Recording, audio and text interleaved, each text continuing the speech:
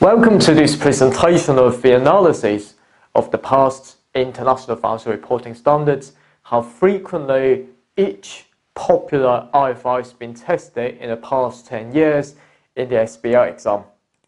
I've been teaching the SBR for more than 10 years and uh, my pass rate for the SBR paper for the ACCA is quite high.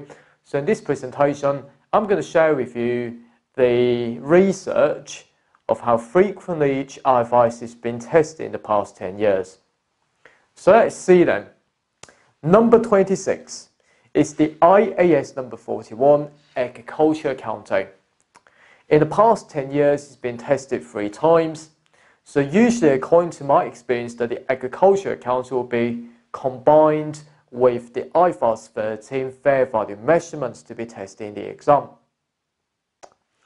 Number 25 the International Accounting Standards number 28, Investments in Associates, has been tested four times over the past 10 years.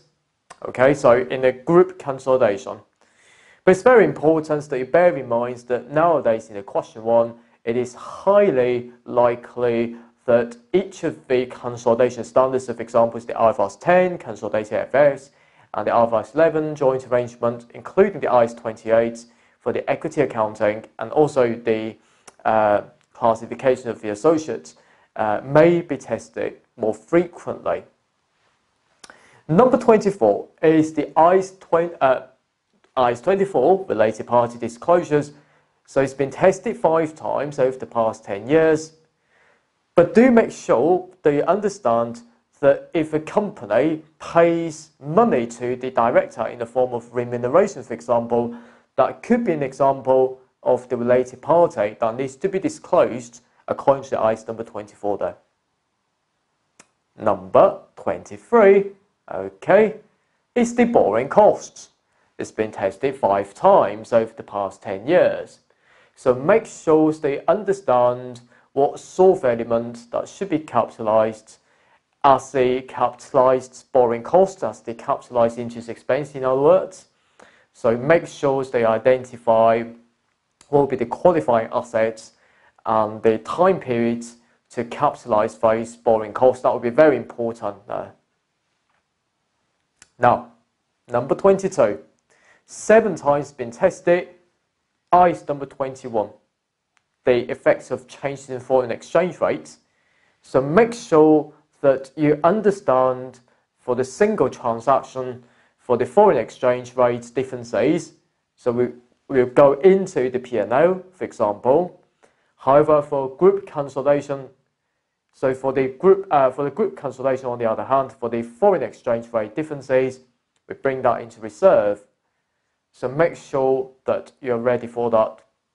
According to my experience, sometimes the foreign exchange rates may also be combined with the IAS number 12 income taxes uh, when the examiner tests you about the deferred tax treatment, if uh, you are given the foreign exchange rates example for that. So make sure they understand which rates they're going to use and to make a comment as well. Number 21, again, seven times, same as number 20. IAS number 40, investment properties in the SBR exam. So you need to make sure that you understand for the investment property, the definition of the investment property is the property that is held by the business for capital gain or and for rental purposes.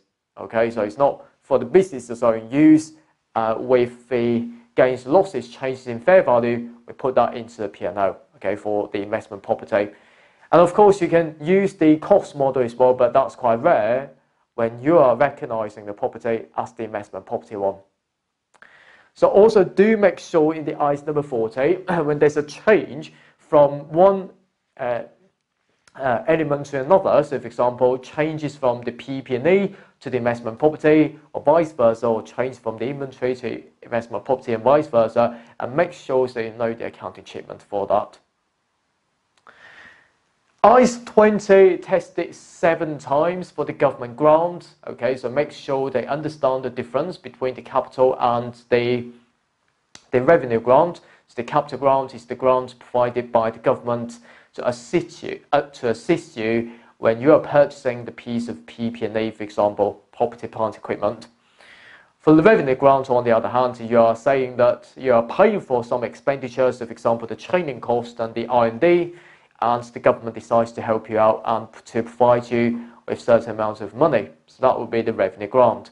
And of course, the treatment, so most likely you'll be using the deferred income approach by recognizing the monies that you receive from the government directly into deferred income liability, if you like, and to release that over the life of the contract or the, per the conditions set by the government, or perhaps by matching the expenses when you're utilizing that particular piece of PP&E and by recognizing depreciation expenses each year, and then you're going to be releasing that deferred income liability into income to match against that expense that you recognize, so you can recognize profit as a result. So that's number 20, IAS 20 there. IFRS 13 is number 19, it's the fair value measurement, so make sure that you understand there'll be three ways to determine the fair value, for example, the market approach, income approach, and cost approach, and also three levels of inputs, level 1, level 2, and level 3 and you need to be able to discuss them in the exam. Number 18, the past 10 years, the joint arrangement has been tested 10 times, so make sure you're ready for that. So for example, the determine, uh, how to determine uh, the operation will be the joint operation or joint venture, and of course for a joint venture, the accounting for that will be according to the IAS number 28, not from the IFRS number 11, because IFRS number 11 is simply be the recognition of the operation where not that would be a joint operation or joint venture, but the accounting treatment for that, for example, for a joint venture, would be to use the equity accounting according to the IAS number 28 associate. Now, IFRS number 8 as the 17th uh, operating segment's been tested 11 times during the past 10 years, so make sure to you recognize that you understand the IFRS 8 is a disclosure requirement how to identify the operating segment, how to determine that whether or not the operating segment will be reportable or not. So by applying the 10% principle as well as the 75% principle in your exam. And the examiner may be creative in this particular area by testing you in the past that, that or not some of the central costs uh, in the group would be allocated to different operating segments within the group. And the answer is it will be done on a very discretionary or arbitrary basis. So make sure you stay ready for that. Number 16, 12 times for the IFRS number 2 share-based payment. But in the recent past exam questions, I've seen that the share-based payment or the SBP will not be tested in a very technical manner. So make sure they understand there will be two types of the SBP in particular. So for example, there will be a share options and there would be the share appreciation right. For share options, of course, you're going to bring this balance into reserve. For the share appreciation rights, on the other hand, will be settled in cash. So you're going to recognize the liability each and, and every year. You also need to recognize, you need to also understand the, the value of the share option and the share appreciation rights will be quite different. One is on the grant date and one is at each reporting period Okay, so that's very important then in there. Another one, IFRS 5, non-current asset held for sale and discontinued operations. So make sure they understands the criteria when determining the asset held for sale by transforming the non-current asset into the current asset and also need to know the accounting treatment for that. So uh, most likely there'll be impairment losses to be recognized for non-current asset held for sale anyway. For discontinued operations, make sure they understand, first of all, the presentation requirements is the single line of the cash flows as well as the profit on, uh, on the face of the uh, statement of cash flows as well as the P&L. And also, uh, when should we determine that will be the dis discontinued operations? Uh, in our course, we've got the first criteria and one of the three situations they can classify that as the discontinued operations and Therefore, the disclosure requirements with the detailed disclosures about the discontinued operations result uh, in terms of its performance and profit and make sure they're ready for that. Number 14 then is the IFRS 3 business combinations during the past 10 years, tested 12 times. So make sure they understand how to calculate goodwill and also how to determine whether or not the transaction is simply be an asset acquisition or business combination. It will be uh, the concentration test in the IFRS number 3 there. IFRS number 1 is the first time adoption, it's tested 13 times Number 12 is IAS number 19 for defined benefit. Make sure they're ready for that defined benefit. Very, very important uh, for pension accounting. Okay, so there will be defined contribution plan and defined benefit plan to pay to the staff who is going to retire soon. And that will be the retirement benefits that you need to be aware of. Now, another standard is the IAS number 34. So I'll make a specific note here in the SBR exam, you need to notice that the IAS number 34 will not be separately tested.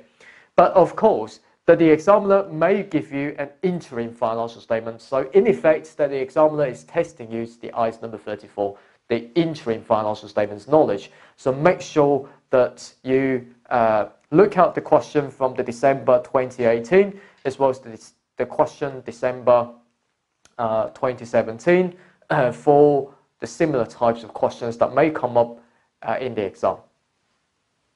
Number 10, again 14 times, and also number 9, IAS 12, yeah, it deferred taxes 14 times tested. ICE number 8, 15 times for the IAS number 10, it meant after the reporting period. So again, in the SBR exam, in my experience, that the IAS number 10 may not be separately tested in the exam. But um, you may be given some sort of transactions that may occur after the financial reporting period.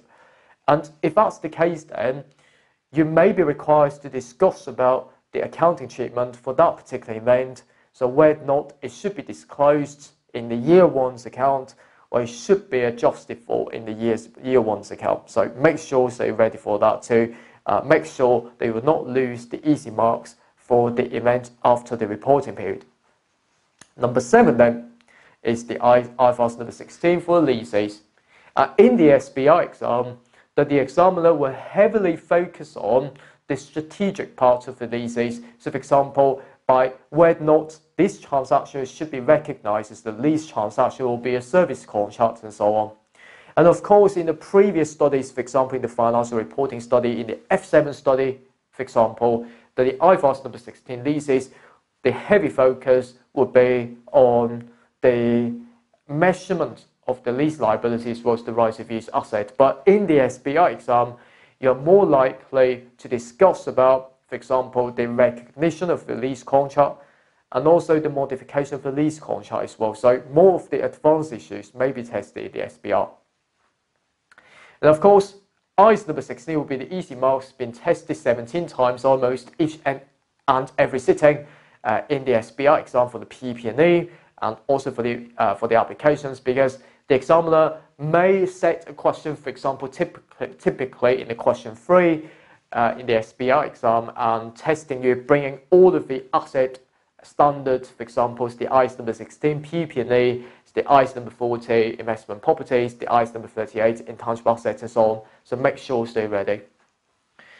Number five then, has 17 times again for the earnings per share. So make sure that you notice that the earnings per share will be uh, an example of a disclosure requirement. And that's enough.